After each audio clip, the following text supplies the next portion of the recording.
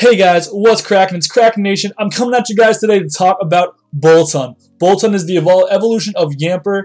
Uh, it's actually a pretty popular Pokemon in, in, competitive play a little bit, as well as a po popular Pokemon for everyone to have in Sword and Shield right now, which is pretty cool.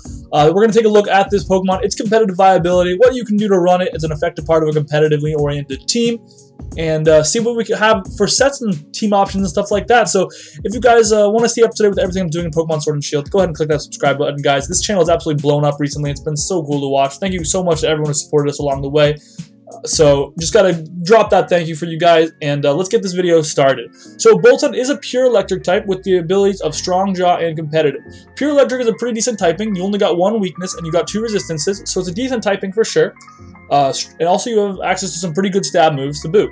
Strong Jaw is going to be your best ability. Competitive is not that great of an ability. Um, it's, it's kind of like the uh, opposite of Defiant, where if you have a lowered special or uh, lowered stat, your special attack that gets boosted by two. Now, unfortunately, I think that's going to be a little situational, and in general, you're probably going to want to run Strong Jaw instead. That said, there are definitely like competitive special sets maybe you could run if you're expecting your opponent to click Defog. But I think because of this thing's move pool and just in general, Strong Jaw is going to be the way to go.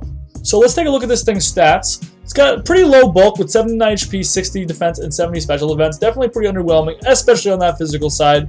Decent mixed offenses, nothing great. 90 attacks probably going to be your best stat to use for your attacking moves just because of your move pool and your ability. 121 speed obviously is going to stand out to you as a fantastic speed stat. You're going to be able to outspeed a ton of things, uh, including things like Cinderace, for example, but a lot of fast Pokemon. 121 is going to be a really nice spot to fall. You're going to outspeed all those base 120s, base 15, base 110 type Pokemon, even and even like faster things maybe uh, if they think they can run a modest nature or an adamant nature Boltund can try to catch them with a Jolly Nature. Taking a look at notable moves, now there aren't a ton of notable moves for Boltund, but there are moves that are very important for us to be aware of. I think the biggest ones are obviously going to be all these bite moves it gets. It gets access to Crunch, Fire Fang, Thunder Fang, and Psychic Fang, so it takes access to four very good bite moves to utilize Strong Jaw with. Furthermore, it's got access to some special electric moves like Discharge, Thunderbolt. It also has Thunder Wave. Volt Switch is a very useful move. We know pivoting and how valuable pivoting can be. So Volt Switch might be an option even if you're running a physical set.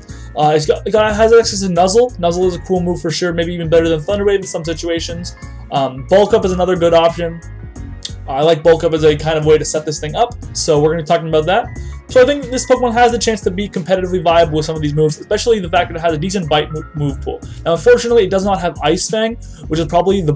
If you could trade Fire Fang for Ice Fang, I figure you 100% would, because you really just wish you could attack ground types. Unfortunately, you can't hit ground types almost at all with Boltund, so lack of Ice Fang is going to be a really huge bummer for it. Taking a look at the first set I have cooked up for you guys here, we got to take we're going to take a look at this Choice Banded set. This is a Choice Banded, obviously, for your item. Strong Jaw is your ability to boost your bite type attacks by 50%. Um, 252 attack, 252 speed, and a Jolly Nature, maximizing your speed and offensive capability. We're going to run Thunder Fang, Psychic Fangs, and Fire Fangs. Now, you could Thunder Fang and Fire Fang I feel like are pretty mandatory. Uh, Fire Fang is going to let you hit grass types that think they can stomach your electric moves. Uh, so that's going to be pretty useful. Now between Psychic Fangs and Crunch, I think you actually do kind of have an option there. Uh, so you can kind of decide as well there. I also think Volt Switch is another thing you want to consider. A Volt Switch is really good on a Pokemon like this. If you you think your opponent's going to switch in maybe their physical wall, you can hit them with a pretty decent Volt Switch, uh, get, get a little bit of chip damage on them, and bring in a more useful attacker in that situation. So Volt Switch is going to be really good on a Pokemon like this. Um, Psychic Fangs and Crunch, that's going to be between you, between like your team synergy options. What do you kind of need? What do you need to hit? If you really need to hit like Psychic types, maybe you run Crunch instead. But if you really need to beat like Fighting types, maybe you run Psychic Fang. Something like that, basically. The other set I've got here is a bulk up breaker, and this one goes for a life orb instead, and you're going to utilize bulk up and try to become a physical kind of dominating force, hopefully with good attack stat and the ability to change moves. Thunder Fang, Fire Fang, and again, we're going to pick between Psychic Fangs and Crunch in that last spot. And this time we're going to run bulk up. We're going to run the same EVs as last time because those are just the most helpful EVs on a Pokemon like Boltund. But uh, we're going to see if you can get some boosts up with bulk up and hopefully hit really hard. Be able to switch moves is obviously key over Choice Band. Now, I will note that bulk up's physical defense boost that you're getting from it probably isn't the most helpful to Boltund, but it isn't completely useless. So you're going to be able to hopefully survive maybe a random priority attack aimed your way thanks to the power of bulk up. Taking a look at pros and cons of Boltund in general, it's got great speed. That speed stat's going to be what carries it to competitive viability for sure. It's got decent mixed offenses with the capability of hitting with either side, and a useful ability supported by a pretty decent move pool is going to be pretty awesome for it. Now, unfortunately, there are some cons. At times, it's got underwhelming stats. Uh, 90 attack and 85 defense is just not that good to fire off your attacks off of. It has pretty poor bulk overall, especially on that physical side. It's going to be very exploitable. Uh, no Ice Fang, like I said, is a really big bummer for Boltund because it can't hit ground types. If you could run Bolt Beam coverage through Thunder Fang plus Ice Fang, both coming off that strong jaw, that would have been really good for Boltund. I'm kind of bummed, and I don't know why it didn't get Ice Fang. That's a pretty big bummer for this Pokemon, which would have been probably really, really good with Ice Fang. I think Ice Fang would have single-handedly made this, made this maybe even a UU, OU level Pokemon. Without it, it's going to fall kind of into that Zebstrika, maybe like a little bit better of a Zebstrika type Pokemon. Uh, finally, low base power moves. Keep in mind, you are getting that strong jaw boost, so obviously the base power is not that low, but Thunder Fang, Fire Fang both only have 65 base power. So if those were like 80 or 90, you'd feel really good about them, but unfortunately they are not. They're a little on the lower end. Looking at some team options and threats you want to look out for when you're building with Boltund, a nice pivot partner could be really good for Boltund. Something that can utilize a Volt Turn core or something. Uh, flying types are good partners because flying types can switch into the ground type moves and the ground types that Boltund can't beat, where flying types are also weak to electric type attacks and Boltund can switch into those electric type attacks for them.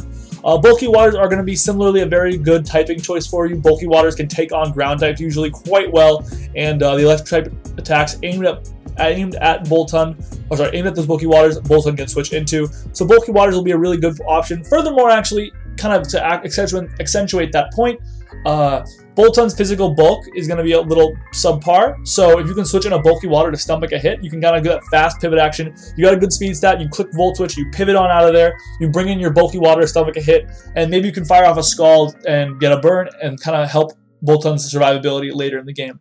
Now, there are some big threats, like we talked about. It doesn't get anything to hit ground types very well. Physical walls in general will, will be able to stomach hits from this thing pretty well. So something like a really bulky wall, like a Ferrothorn, if you're not running Fire Fangs, could be a big problem. Finally, powerful priority moves. Because your physical bulk is not that great, and your, these priority moves will take advantage of the fact that you uh, don't have the bulk, but you are fast. So they don't, and the priority moves don't care about your speed stat. Powerful priority moves, moves like Extreme Speed or Aqua Jet or Mach Punch or something could easily do a ton of damage to you. Um, so that's going to be something you have to be careful of. Let me know what you guys thought about this video. Let me know if you enjoyed and if you find it helpful at all. What do you guys think about Boltund? I definitely want to hear your thoughts in the comment section below. Uh, sorry I didn't get to, around to posting a video yesterday. Just a busy day. Just a very busy day. And uh, until next time, I will see you guys later. Krakenation out.